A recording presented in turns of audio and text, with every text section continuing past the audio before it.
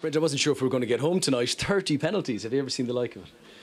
Yeah, well, haven't seen too many like that, but I think it's congratulations to, to my players because they show great quality and, and composure in the penalties, and to the Middlesbrough players because I thought that they, they played well, kept going to the end, and uh, and obviously took us to the penalties. So, uh, but it's obviously it's it's a relief when you get through. We're disappointed with the goals we conceded.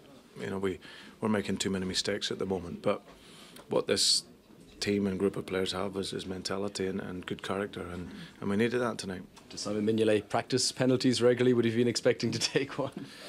Well, we were practicing them last night. You know, we were humble enough as a as a group to think that we would maybe go to penalties tonight because Middlesbrough are a good side and doing very well. Um, so, uh, so no, everyone practiced the penalties last night. How important, to, given the recent league form, to, to get the win tonight for morale as much as everything?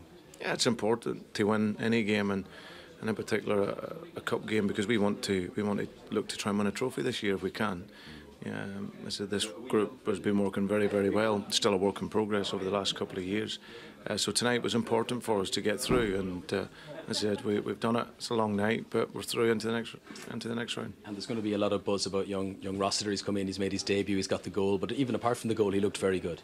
Yeah, I thought that was a great night for our young players. You know, I, I will always look to them uh, to provide them with the opportunity to come in and play. And whenever obviously Jordan Henderson wasn't fit, you know, our look was to, to the youth, and uh, he came in, showed great composure, and it was a great finish.